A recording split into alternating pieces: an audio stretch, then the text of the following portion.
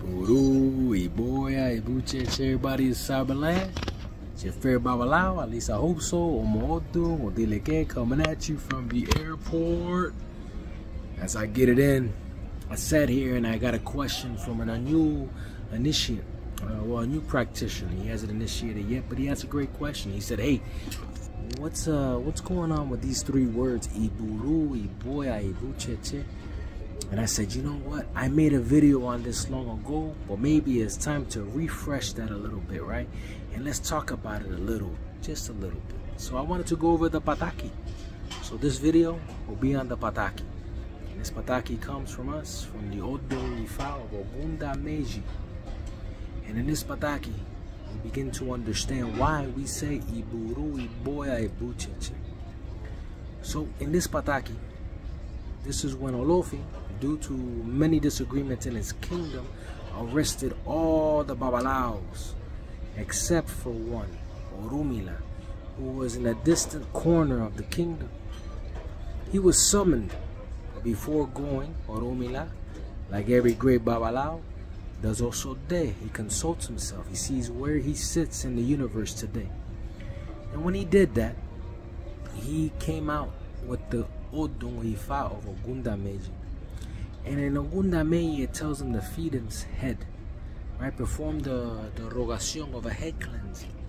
And to do three eboses with chicken, with different ingredients, so that he can take it on his journey. But that the chickens had to be cooked and carried and left along the routes, and he will know when to give it when it was desired. So Orumila went on his way, completed everything he needed to do. And he sat under a tree and saw a woman washing clothes by the river. He started to have a conversation with the woman, and she warned him.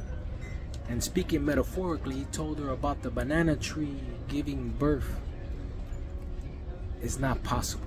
So indicating that there were many traps along the way. So Orumila gave the woman a chicken and gave her a derecho for the great advice. Asking for her name, and her name was replied Iburu.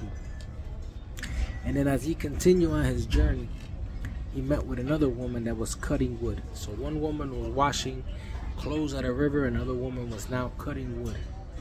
And she warned him that many people were being arrested and to be careful. So Orumila said, thank you for the sound advice, gave her a chicken and a derecho as well, an offering. And he asked, what is your name? And she said, Iboya. So now Orumila thanked her and moved on his way. Further, he went and he met with another woman who mentioned that Olofin wanted to marry off his daughter. And Orumila said, well, thank you for that advice, and gave her the third ebo, which was the cooked chicken, and a derecho as well. And asked for her name, and she said Ebusheshe.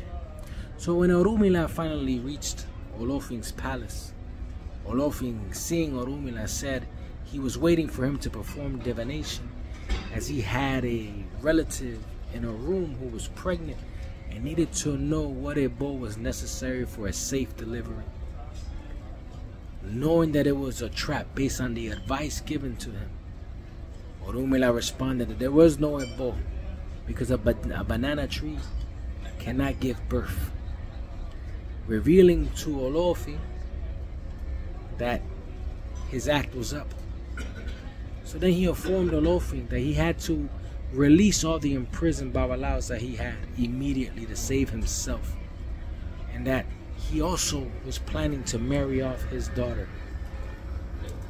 Confused and realizing the truth, Olofin realized all the Babalawos and he released them all, realizing that they all needed to be freed. As Orumila was leaving, he told Olofin that this happened because of disobedience and failure to feed his own head.